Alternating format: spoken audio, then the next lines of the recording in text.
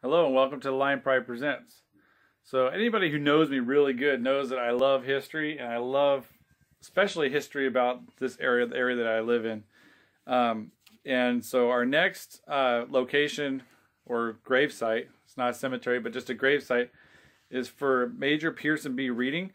And um, this is really, really cool um, piece of history. I got a small kind of a bio that I found online. It's pretty short, but I I cannot memorize anything, so I'm just going to read it off the paper here. So, um, Pierson B. Reading was born in New Jersey. He came across country to California with Samuel J. Hensley as a member of the Chiles Walker Party in 1843.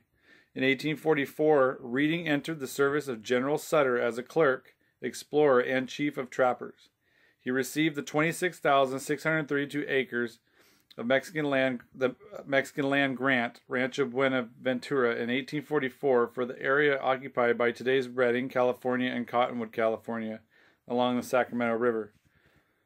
In the winter of 1844 to 45, while Sutter was marching with about 100 men to join Governor Michael Torina, Pierson was in command at Sutter's Fort. In 1846, Reading was a participant in the Bear Flag Revolt. In the Mexican American War, Reading enlisted under Fremont and was appointed paymaster of the California Battalion with the rank of major.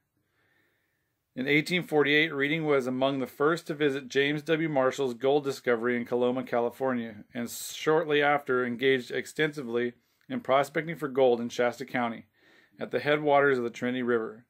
In the fall of 1849, Major Reading fitted out an expedition to discover the bay into which he supposed the Trinity and Klamath rivers must empty.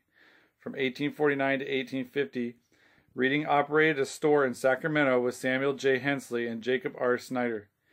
He was the Whig candidate for governor of California in 1851.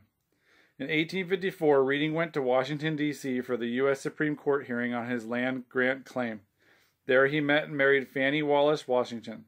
Reading returned to his Rancho Buena Buenaventura in Shasta County in 1856, where he remained until his death in 1868.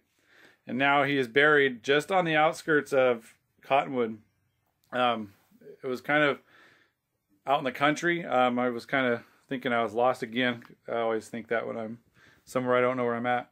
But uh, it was very secluded. It was out there by a bunch of uh, ranches and farmland, and it was really, really cool. The people that have taken care of the burial site has taken care of it with a lot of passion and love. So it was really, really neat to see.